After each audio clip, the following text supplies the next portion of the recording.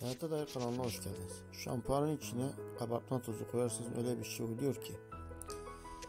Kışın yıpranan bedeninize bakım yapmanın zamanı çoktan geldi. Uzmanlar saç, tırnak, cilt ve cilt sorunlarına karşı kabartma tozu kullanımını önerdi. Pasta, börek ve keklerin vazgeçilmez malzemelerinden kabartma tozu vücuda baştan aşağı bakım yapıyor. Uzmanlar parlak dişlere, sağlıklı ve güzel saçlara, güçlü tırnaklara sahip olmak için kabartma tozunun fayda sağladığını aktarıyor. İşte tatil öncesi bedeninize kabartma tozuyla bakım yapmanın formülleri. Cilde Sivilcelerinizden bıktıysanız bir miktar bal ve kabartma tozunu karıştırıp yüzünüze sürün. Yaklaşık 15 dakika bekledikten sonra durulayın. Haftada bir gün temiz cildinize uygulayacağınız bu maske sayesinde sivilceleriniz eskisi kadar sorun olmayacaktır.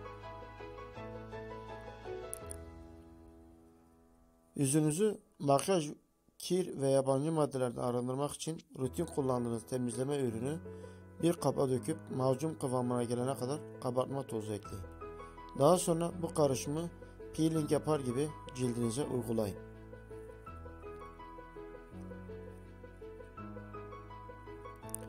Vücudun çeşitli yerlerinde çıkan sihirlere karşı kabartma tozu ile limon suyu karışımı ilaç gibi geliyor.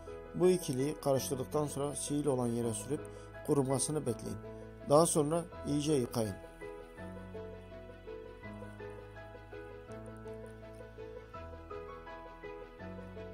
Ayaklar Pürüzsüz ve yumuşak ayaklara kavuşmak için yapmanız gereken oldukça basit.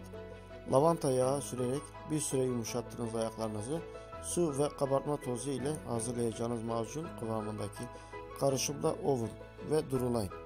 Ayaklarınız çok daha yumuşak ve pürüzsüz görünecek. Tırnaklar Peroksit adı verilen maddeye kabartma tozu ekleyin ve ojeden arındırılmış tırnaklarınızı bu karışımla ıslattığınız pamuk ile ovalayın. Bu yöntemi düzenli olarak uyguladığınızda tırnaklarınıza yerleşen sarı renkten kurtulduğunuzu göreceksiniz. Tırnaklarınızın çevresindeki etlere karşı da kabartma tozunun gücünü kullanabilirsiniz. Bunun için kabartma tozunu su ile karıştırın. Bir fırça yardımıyla tırnak ve tırnak kenarlarınızı ovun. Manikür etkisi yarattığını göreceksiniz.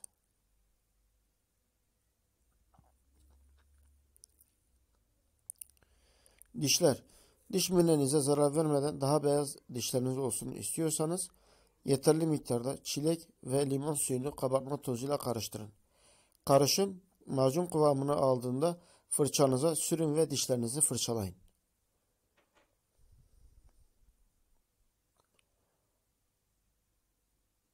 Saçlara.